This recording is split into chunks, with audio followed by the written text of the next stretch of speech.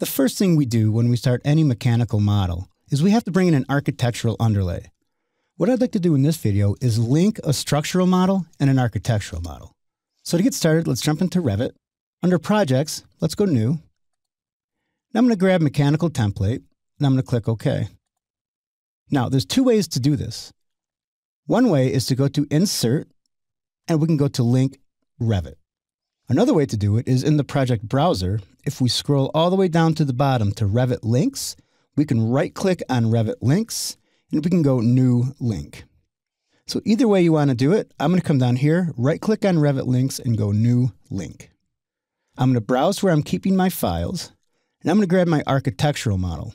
Now, notice there's not as many choices from when we brought in our CAD. The files of type will be a Revit file, we have no choice. For the positioning, generally you'll always want to go origin to origin. However, if you're using shared coordinates, you have to know what those coordinates are, and you can go by shared coordinates or project base point. And of course, you can put it in manual. And generally, you're going to go origin to origin. Now let's click open. Notice I didn't really care what view I was in. As long as it's not a drafting view or anything other than the floor plan or a 3D view, you'll be good. Now, a couple things I like to do. The first thing I want to do is I want to select our link. And I want to make sure I click on the pin button right here. This makes it so other people can't move it. But a couple things happen when you hit pin. Notice down here, we have some choices. We can uncheck select links. So if I come over here, I can just hover over this link and I can select it. If you uncheck select links, notice that you can't select that link.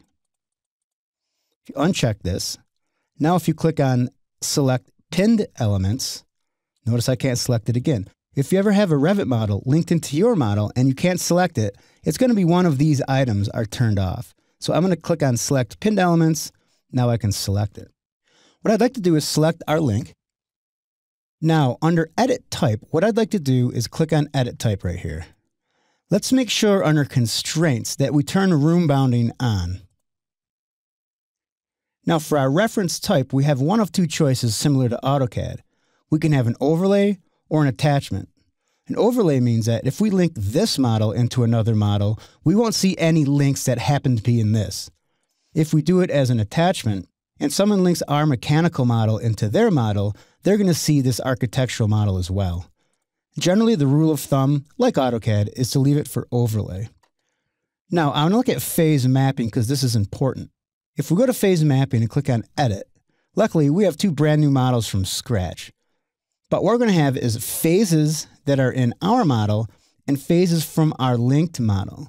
So if the architect has a bunch of phases, we have to recognize that and link them with a phase over here. So I have existing and new construction. If I go to phase from link, I can click the drop down and I can choose the phase that I want to link our phase with. I'm going to click OK. I'm going to click Apply. Now I'm going to click OK. Another thing I'd like to look at on links is how it shows up. If we go to Manage, and if we come over to Additional Settings and we click our flyout, let's go down to Halftone Underlay. Now we can change how that appears. This can change from firm to firm depending on how your plotter is output, but my weight, I generally like to go with a weight of 1. For my pattern, I want to keep it at no override. I'll apply a halftone, but I usually bump it up to about 80%. Now I'm going to hit OK. Notice that our underlay is going to be darker. Any underlay that we bring into our model will be dark now. Now let's go to a 3D view. Let's go up to our quick access toolbar and click on default 3D view. Now let's go to insert. Let's go to link Revit Let's grab our structural model. I want to go auto origin to origin, and I'm going to click open. Now it says the following nested links will not appear because their reference type is set to overlay in the link. So that means, for example, that the structural model had our architectural model linked into it, and you're going to get a nested links dialog. You want this. Click close. I'm going to hit escape a couple times. Now what happens is we have a link over the top of a link. So if we zoom in really close, we can select our structural link and we can make sure that we pin it. Go to edit type Make sure room bounding's turned on. Means that we can add spaces and they will bind to the rooms that are in the architectural model. Click apply, click OK. Hit escape a few times. Now we can zoom out. Now what I'd like to do is go to our visibility graphics. If you type VG or click edit over here for visibility graphics, notice that we have Revit links. So I want to come down here to Revit links. And if we expand each of these, what's going to happen is this. Like a normal family, we have the name of a family, then we have the type of family that we have. So, for example, I could copy these links around in my model, and we'd have architectural one, two, three, four, and each of those are going to have their own properties. So, remember, if you get more than one for each model, you can either delete that or you have to find out what happened. Someone might have copied a model. I've seen it happen a lot. Now, what I want to show is if we go to display settings and if we go by host view,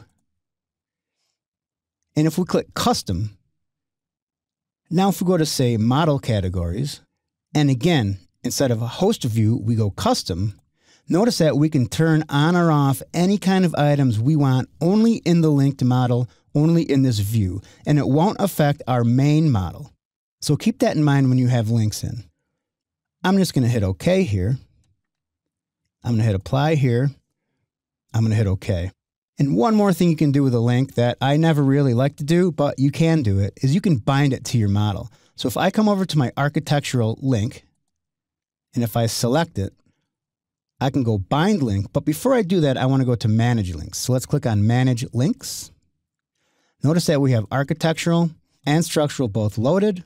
They're both overlays. And here's the path that we have.